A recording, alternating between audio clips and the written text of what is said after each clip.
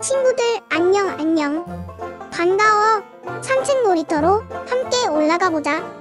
계단을 올라갈 때에는 밧줄을 잡고 조심조심 올라가야 해. 드디어 산책 놀이터에 도착했어. 같이 구경 가자. 어? 저게 뭐야? 친구들은 이게 뭔지 알 것 같니? 수수께끼를 통해 알아볼까? 나는 무엇일까요? 그림을 보고 한번 맞춰보아요. 나는 바로 발자국이에요.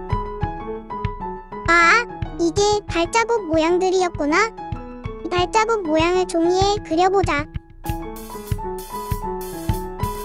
이렇게 종이를 대고 색연필로 슥싹슥싹 칠해주면 발자국이 종이에 나왔네. 짠! 이번엔 집에서 즐기는 놀이를 알아볼 거예요. 어떤 것을 만들어 볼까요? 나뭇가지 발자국, 솔방울 크리스마스 나무, 그리고 곰돌이빵을 만들어 볼 거예요. 첫 번째, 나뭇가지 발자국을 만들어 보아요. 나뭇가지 발자국을 만드는데 필요한 준비물은 나뭇가지 자투리, 목공본드, 종이. 나뭇가지 자투리를 목공본드로 붙여주세요. 나뭇가지 발자국 완성. 다양한 발자국 모양 중에 곰발자국 모양은 어떤 것일까요?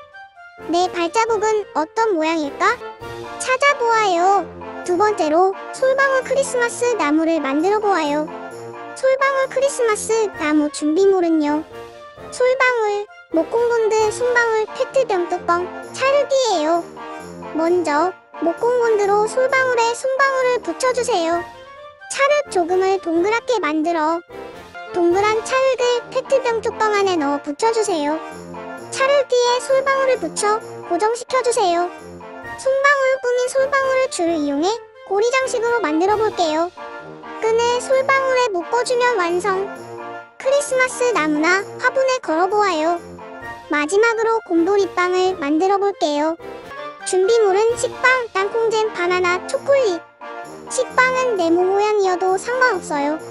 초콜릿 대신 블루베리를 사용해도 좋아요. 빵에 땅콩잼을 발라주세요. 바나나 자른 것과 초콜릿을 올려주면 완성. 이제 빵을 맛있게 먹어볼까요? 이번 영상은 여기까지. 그럼 다음에 또 만나.